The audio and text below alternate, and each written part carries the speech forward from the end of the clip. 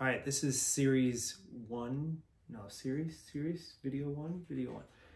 This is video one in the Road to Romaniac series for Heavy Enduro. So, um, probably, I don't know, two, or three months ago, end of last year, Corey from Camel ADV sent me a message. He said he wanted to race Romaniacs.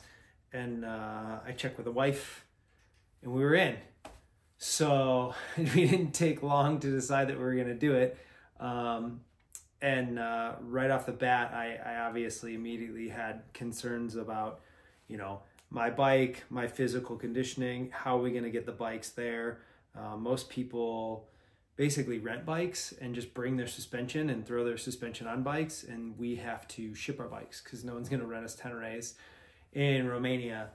So that was kind of a, a big financial challenge and a big scheduling challenge to get a bike from here uh, shipping it through Canada, uh, then to Vienna, Italy, and then getting it to the race, and then and then back home. So I think that was kind of my biggest logistical concern with the trip.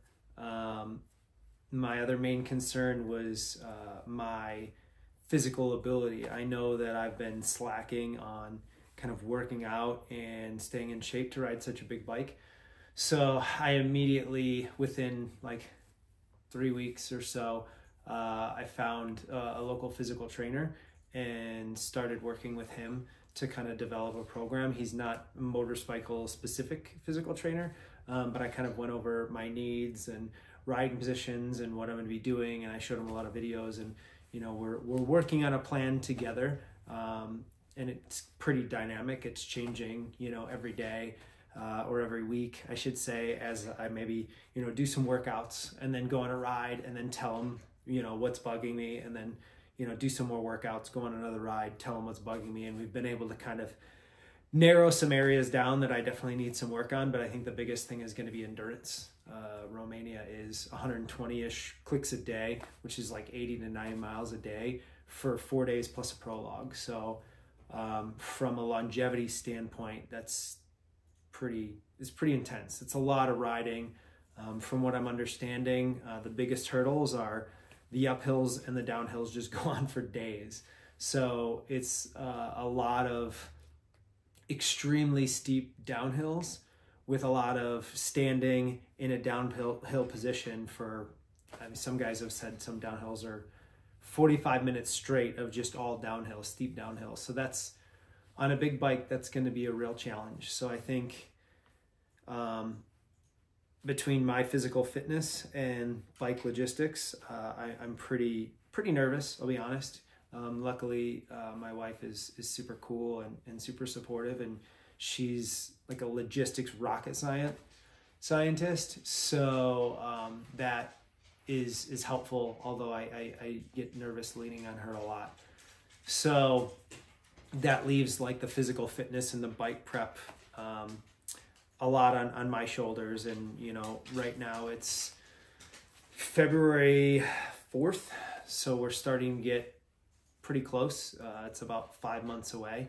Uh, so I'm definitely getting nervous. I, I was going to ride with Corey, but it sounds like um, he has had some surgery and he might be out. So I might be going on my own. Uh, and that, that kind of adds a little bit more nervousness to it. It was nice to go with a buddy and kind of share components and share parts and, you know, kind of throw things back and forth at each other uh, for, you know, moral support.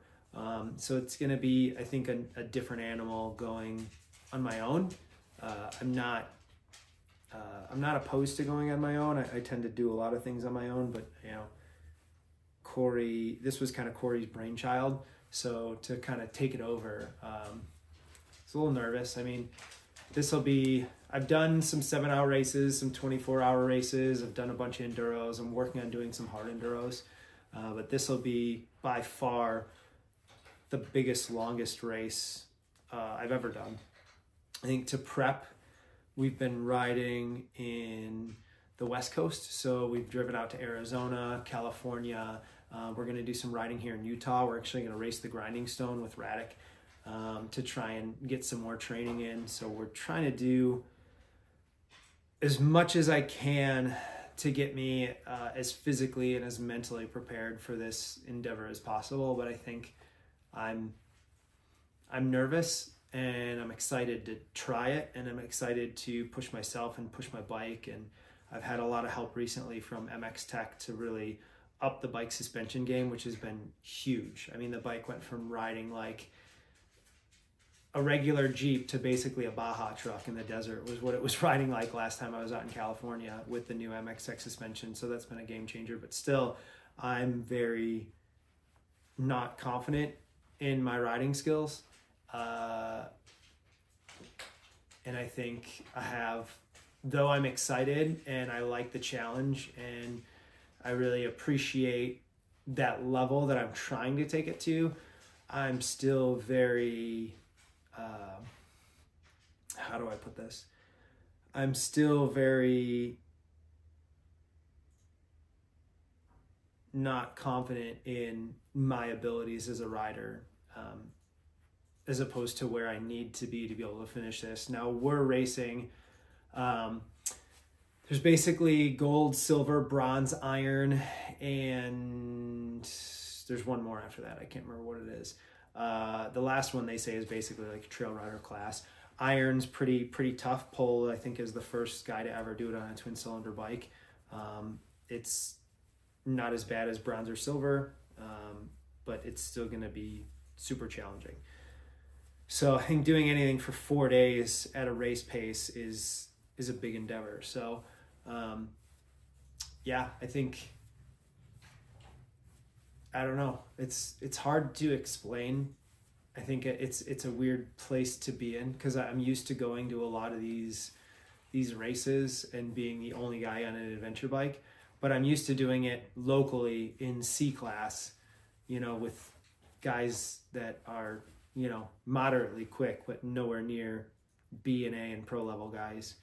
So to do it in Romania at Romaniacs literally next to some of the best riders in the world makes me definitely question and doubt my abilities and my life decisions. But uh, again, I, I think it's a really, I think it's a really important thing to try and have a goal and have a dog that's really loud when you're trying to talk. Bella, relax. So yeah, uh, I think I'll cut that off for now. That's about that's about all I have. We're still in the early days. There's still a ways to go.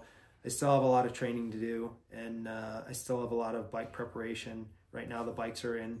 Um, they're in Vegas, as we're gonna go and do a, a, another ride in a couple more weeks, and then a couple more weeks after that. So, trying to get as much as much training as I can, even with the winter coming and and or with the winter being here and and definitely trying to I'm even contemplating building a second Tenere, buying another Tenere, and uh, just building a fresh one for the race so that I don't have to worry about anything on the old one since I've really beat that bike hard for about three years.